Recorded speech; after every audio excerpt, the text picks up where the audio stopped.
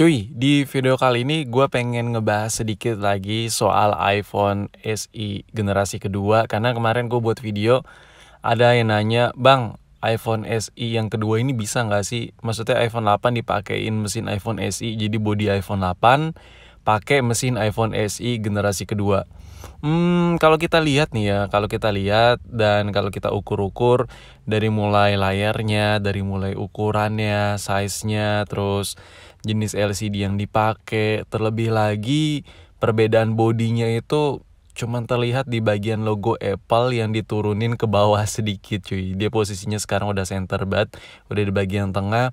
Dan di mana kalau kita lihat kalau dari recycle parts yang ada di iPhone 8 ya semuanya itu bisa ada di iPhone SE generasi kedua kalau kalau sekilas dari luar kita lihat ya. Karena untuk kaca bagian belakang itu kacanya tetap masih sama cuman penempatan Apple-nya aja yang dipindah. Itu masih bisa ngegunain bahan baku yang sama dari iPhone 8 kalau menurut gue. Dan kalau kita lihat sedikit iPhone 8 dan iPhone SE dari secara spesifikasi detail dimensinya ini gue coba bandingin ya dari website resmi mereka.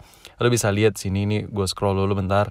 Nah ini di sini lo bisa lihat jelas banget nggak ada perbedaan yang gimana gimana ya. Semuanya sama mulai dari tinggi lebar berat tebal semuanya sama. Bahkan berat pun sama cuy. Beratnya itu juga sama. Jadi besar kemungkinan juga bagian dalamnya dalamannya itu dudukan bautnya. Jadi misalnya gini handphone itu kalau dudukan bautnya itu ada yang berbeda otomatis peletakan bautnya berbeda. Jadi jumlah bautnya pun berbeda.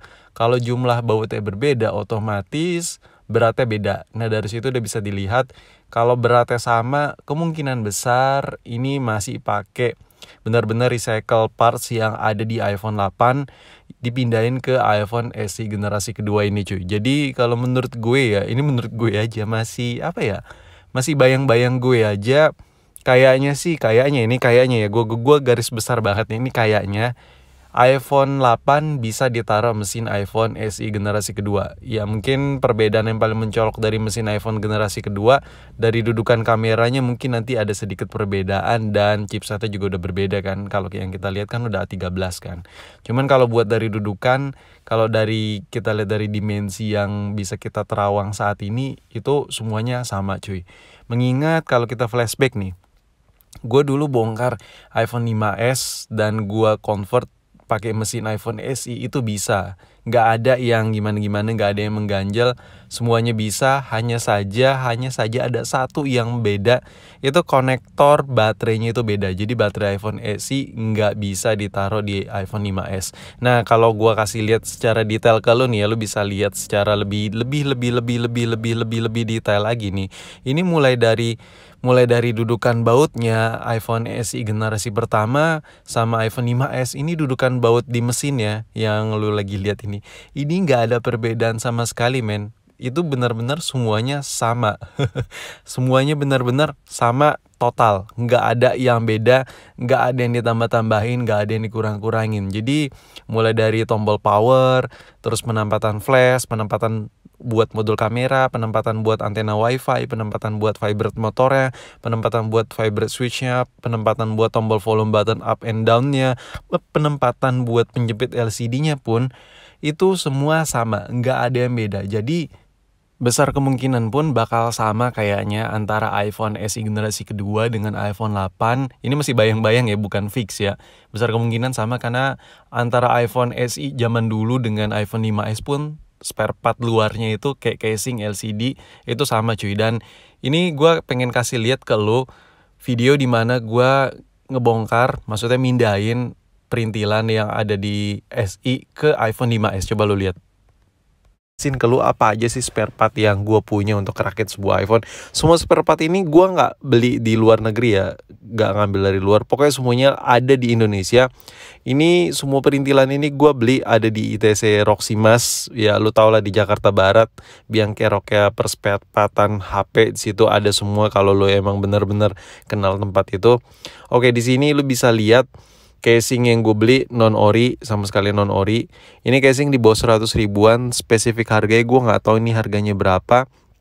Dan ini sudah termasuk perekat untuk baterainya. Jadi gua nggak perlu lagi pakai double double tip tapi nggak bakal gue pakai sih. Soalnya gue pakai baterai yang udah berumur juga buat iPhone SE rakitan gue yang ini. Lo bisa lihat casingnya housingnya sini nggak ada bacaan SE dan lain-lain karena ini casing dari 5S ya kita kawinkan saja antara casing maksud gue housing 5S dengan mesin CSI lu bisa lihat sini ada tombol volume power sama SIM tray-nya sudah termasuk semua di housing ini dan perekat baterainya sendiri. Salah satu yang sering ketinggalan perintilan kecil ini biar tombol volume power yang enggak ngelos itu jangan lupa cuy dipasang sebelum lu pasang bener antara volume button dengan fleksibelnya. Jangan lupa perintilan kecil tadi harus dipasang. Untuk speaker telepon semua dan lain-lain di Roxy ada jual semua lengkap lu tinggal cari aja tinggal lu obrak abrik aja toko spare part mereka satu persatu. Tapi dijamin ya dijamin banget nih kalau lu nyari spare part original situ susah banget cuy. Susah banget. Yakin yakin yakin gue. Dan lu jangan mau ketipu kalau dibilang ori ya sebenarnya sih susah banget buat nyari ori baru. Bukan susah nggak ada. Hampir nggak ada gue otak atik di situ bilangnya ori begitu gue lihat ini nggak ori. Ya ya udahlah gue pasar aja. Akhirnya gue beli LCD yang KW KW sekalian aja daripada ori ori yang nggak jelas. Ini LCD gue beli berapa ya harganya ya hmm, di bawah 100 ribu juga 80 ribu entah berapa gue lupa harga spesifiknya berapa. Warna hitam tadi lu lihat housing warna silver LCD warna hitam ya suka-suka gue kan ini kan ini rakitan gue cuy. Lu bisa lihat sini ada tulisannya LCD Apple iPhone 5s dan SE sedikit informasi aja buat lu dulu sekitar 2 atau 3 tahun yang lalu Cina itu ngebuat spare part untuk LCD 5s itu dia nggak kompatibel untuk SE juga. Karena SE hari itu baru-baru keluar baru beberapa tahun keluar dan belum ada spare part khusus maksudnya spare part gabungan antara LCD 5S dengan SI jadi kalau lu beli LCD S 5S nggak bisa ditaruh ke iPhone SE karena tegangan LCD berbeda. Tapi kalau sekarang udah pinter cuy Cina. Lo beli spare part KW yang rendah pun yang seperti yang kau pegang ini, ini bisa dipakai untuk 5S dan SI. Beda antara dulu dan sekarang ya. dan setelah lo lihat video lama gue, ya ya lu bisa lihat kan bahwa iPhone SE zaman dulu tuh bener-bener total sama kan bawaan komponen dasarnya itu dengan 5S. Nah, besar kemungkinan juga iPhone SE nih yang kita lihat sekarang ini yang ukurannya itu bener-bener nggak ada beda juga dengan iPhone 8. Jadi kayaknya sih buat lu yang nanya di video gue yang kemarin, Bang, itu iPhone 8 bisa nggak sih dipakein mesin iPhone SE 2020 iPhone SE generasi kedua? Kalau gue boleh jawab, kalau menurut gue ya besar kemungkinan iya. Besar kemungkinan ini masih kemungkinan bukan fix ya. Karena gue belum pernah ngelihat orang ngebongkarnya langsung waktu saat video ini dibuat ya. Belum pernah ngelihat mesinnya langsung waktu saat video ini gue buat juga karena belum gue belum sempat ngecek-ngecek dan lain-lain. Yang jelas kalau kita lihat dari tampilan luar ya terus dari segi dimensinya berat bobot uh, panjang lebar tebal itu semua kalau kita lihat sama banget dengan iPhone 8. Jadi menurut gue ya besar kemungkinan bisa banget. Tapi kalau seandainya pun bisa dan hmm, antara iPhone 8 dipakein mesin iPhone SE generasi kedua, ya terlalu gua gua gua ngebahas yang lain dulu deh. Ini gua gua kasih lihat dulu sedikit flashback juga di mana gua ngebongkar iPhone 8 lu bisa lihat sini mungkin sebagian dari lu udah nonton tapi gue sedikit flashback lagi. Ini mungkin kalau ada bocoran gambar mesinnya udah ada mungkin lu bisa cek-cek sendiri dan lu bandingin di video gue ini apakah sama atau enggak karena gue belum sempat.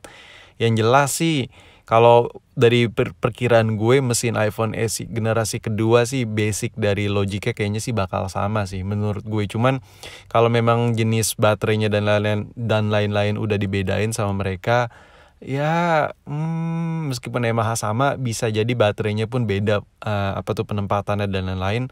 Bisa jadi ya ya nggak bisa juga mesin iPhone SE generasi kedua dipindahin ke iPhone 8 dan ya menurut gue secara total mungkin ada kendala ya ada kendala seandainya mesinnya pun bisa dipindahin. Mungkin kendala kedua yang harus lu hadapin adalah kameranya mengingat hmm, sensor kameranya beda banget kan antara iPhone 8 dengan iPhone SE generasi kedua. Tapi toh balik lagi ke zaman dulu lagi yang di mana iPhone SE ini bisa total banget gue pakein dari iPhone 5s semuanya spare part ya kecuali baterai kecuali baterai. Dan hmm, untuk soal kamera pun iPhone SE zaman dulu dengan iPhone 5s itu beda juga sensornya cuy. Jadi ya ya itu lagi. Yang kayak tadi gue bilang besar kemungkinan semuanya itu bakal bisa dipindahin. Semuanya bakal bisa dipindahin antara iPhone SE kedua dengan iPhone 8 meskipun speknya ada sedikit perbedaan dari segi chipset dan sensor kamera. Tapi ya tapi ini tapi loh. Pertanyaan paling penting nih buat apa dipindahin mesin iPhone SE generasi kedua ke iPhone 8 buat apa coba? Gue juga bingung sih buat apa dipindahin? Tapi kalau buat jangka panjang misalnya kayak tiga tahun 4 tahun setelah launching menurut gue sih ya worth it juga sih dipindahin. Kayak misalnya lu punya iPhone 8 terus lu upgrade ke SI dan iPhone 8 lu gak lu jual terus SI lu kenapa-napa kayak LCD pecah mungkin enak pindahinnya kan tinggal pindahin gitu aja. Cuman kalau seandainya lu nggak punya iPhone 8 dan lu buat apa gitu? Pindahin dari mesin iPhone SI kedua ke mesin iPhone 8 yang ada kayaknya sih kalau lu ngerakit gitu kayak bakal rugi deh